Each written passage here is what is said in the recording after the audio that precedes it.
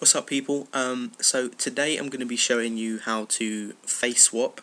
Um, and just to kind of show you what I mean I did one earlier. So this is a picture of Ant and Dec um, and literally all I've done is, is swap their faces. So that's the before and that's the after. Um, so as you can see it, it looks uh, not too fake I guess. Um, the blending is pretty much spot on but Photoshop does that all for you um, so yeah, you just need to find two images that would kind of match, I guess.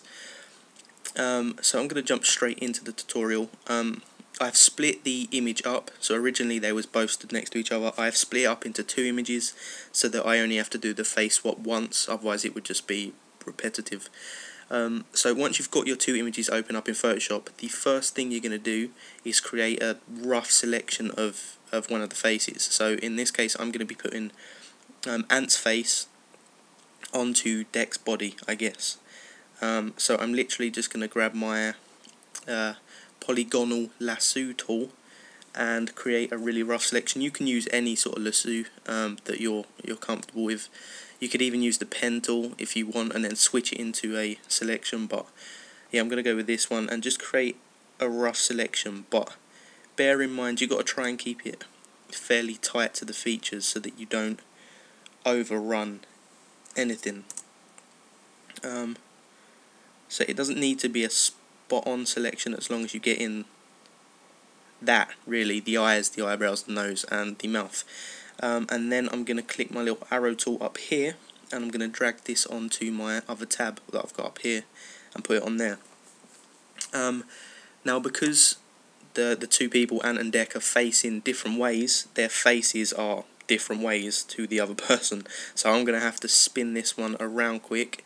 So if I hit edit free transform, I can drag this over so that it flips. And then by looking up here, um, you can see that it's on minus 88, meaning that it's, it's out of proportion. So if I just click on that and make sure that it's minus 100, um, and then hit OK, that will bring it into proportion. so the way I'm going to go about lining it all up is just by dropping the opacity a tad and kind of trying to line it up like that. So as you can see the mouth and that are in different places. You're not going to get them spot on but you want to try to get them as close as you can. Um, and that's the same with the eyes and nose. So that looks about right. And don't forget to um, adjust your orientation to to match. Um, and that there looks like it'll do I guess. I hope.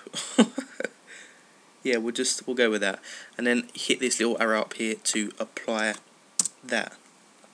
So now we're going to want to go about deleting the face away from this image so we're going to create a duplicate of this by clicking on it and hitting Control J. If you're on a Mac, that will be Command and J. Um, and then we're going to head over to this layer, hold Control or Command and click it so that it brings back up our selection. Um, then we're going to head to Select, Modify and Contract.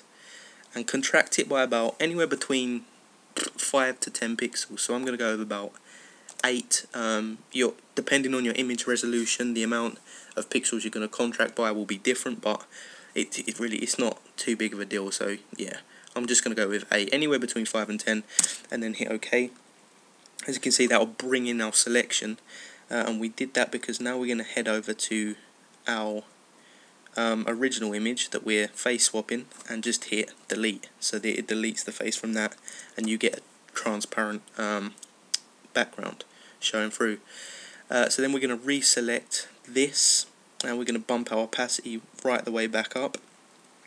Um, and as you can see, it's quite like there's no white edges. If you have any sort of white gap showing through around the selection, then you didn't contract the image by enough. So just hit Control Z a couple of times, or Control Alt and Z a couple of times on your keyboard to bring it back, and um, just contract it by more. Uh, if you don't have any little white edges around your selection, then you're all good. Um, and the next step would be to select both of the um, layers we're working with, head up to Edit, and auto blend. Now you're going to want to make sure panorama and seamless tones and colours are both checked and just hit OK and that will literally blend it all for you um, as you can see. So if I hit Control Z that was before the auto blend and that's after and it does a pretty good job to be fair. You might find a couple of outer tone bits around the selection but you could literally just go back in with your spot healing brush tool and um, and clean all that up. But as far as the, the face swap goes, you are about done. The only step left would be to merge them all into one layer by hitting Control and E on your two selected layers, and that should now be one image. So that was before, and that's after. Um, so yeah, that was the face swap. Uh, let me know if you enjoyed this tutorial. If you wanted to do the same, um, so put Dec's face onto Ant's body, it would literally just be the same process only in reverse.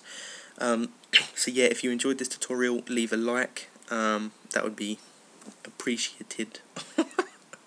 but yeah, thanks for watching, and um, I'll see you in the next tutorial.